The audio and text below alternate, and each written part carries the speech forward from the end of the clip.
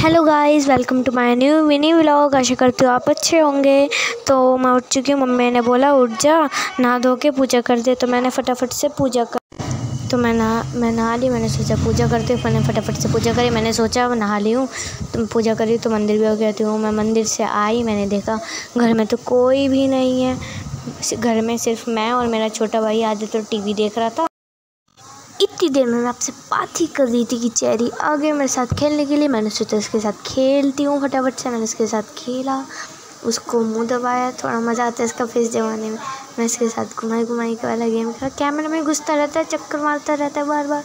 मैं बोला, इधर मत जा। फिर मैं उसके साथ गोल गोल घुमाई वाली गेम खेली। मैंने बोला, बेचारे के साथ खेलना भी ज़रूरी है, अकेला बैठा रहता है पलंग के नीचे। बेचारा क्या करता रहता हो क्या करता रहता होगा। फिर मैंने इसके साथ घुमाई वाली गेम खेली। मैंने सोचा, इसको भूख लग रही होगी तो मैंने इसके लिए खाना लाने की सोची। मैंने धनिया लेके आ जाऊँगी, इसको दूँगी।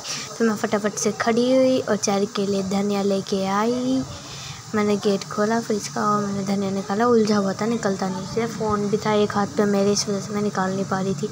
मैंने फटाफट से आई और धनिया धनिया निकाल के लेके गई। फटाफट से अंदर, चेरी के पास मैंने जैसे ही जाके नीचे रखा ना भाई, इसने इतना गंदा वाला इग्नोर किया ना, मैंने बोला बेचारे को भूख लगी होगी। चलो छोड़ो, अब आधे तो लेटा है, चलो मैं अपना चूल्हे करती हूँ, मेरे क्यों बहुत सारा रह रहा था, मैंने सोचा कर लेती हूँ फटाफट से।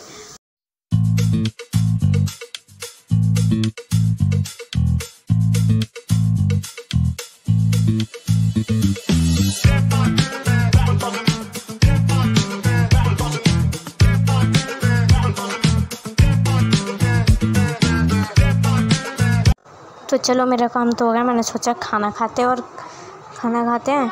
मैंने देखा जेठालाल देखते हैं हम खाना खा रहे थे तो खाने में था छोले पूरे बड़े गिलास से पानी भी ले लिया था।